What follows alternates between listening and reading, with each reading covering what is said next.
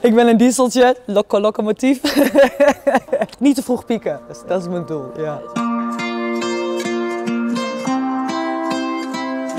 vind ik het belangrijk in deze periode wel om doelstellingen te hebben. Dus als je ergens aan wilt werken, dat je daar aan werkt. Nou, ik had gisteren dus uit zitten rekenen en ik heb 12,5 week geen volleybal aangeraakt.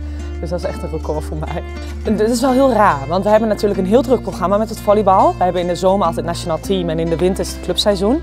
Dus um, eigenlijk hebben we bijna geen vakantie. Dat is één à twee weken per jaar. Dus in het begin denk je, nou, het is eigenlijk wel lekker. Maar dan wordt het vier, vijf, zes weken, zeven weken. En dan denk je, ja, word je toch onrustig en mis je het spelletje echt wel. En ik mis gewoon de, de, het niveau waar je uitstapt, zeg maar. Want je, staat, je bent gewoon fit, je bent in vorm en je, je stopt dan in één keer. En dan eigenlijk nu afgelopen maandag verwacht je weer om dat niveau binnen te komen. Maar dat is dus absoluut niet zo. Ik mis het teamgebeuren heel erg. En ook gewoon het, het balgevoel, de balcontrole. Wat jij elke dag doet, dat, dat valt in één keer weg.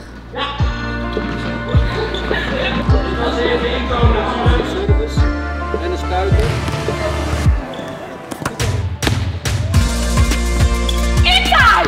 In het verleden was ik altijd wel van, uh, oh ik moet weer trainen en ik moet weer een wedstrijd spelen. Maar naarmate ik ouder ben geworden, dan besef ik steeds meer hoe bevoorrecht ik ben. Dat ik echt van mijn hobby echt mijn beroep heb kunnen maken en dat het wel echt heel speciaal is. En dat je dat in één keer niet meer kunt doen.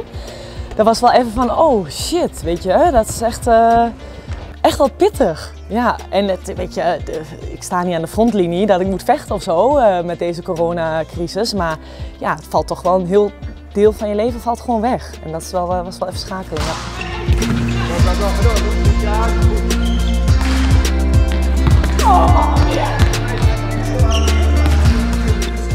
Ik ben al bezig met een uh, traject uh, voor mijn carrière na de, na de topsport.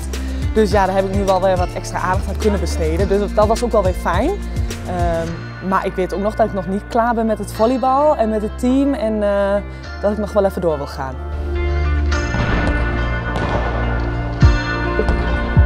Waarschijnlijk ga ik in het weekend van 11, 12 juli ga ik weer naar Turkije, naar mijn club.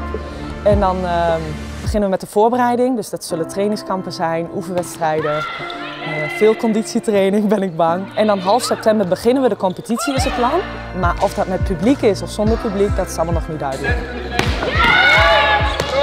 Ja, het is, het is onzeker, maar uh, probeer echt in de, in, in, in de dag te leven, in het moment. Want uh, ja, verder kun je ook niks. Kun je echt helemaal niks. En als je je zorgen maakt over de toekomst, ja, dat is gewoon verloren energie. Dus uh, stel wat doelen op een dag voor jezelf en ga daarmee aan de slag.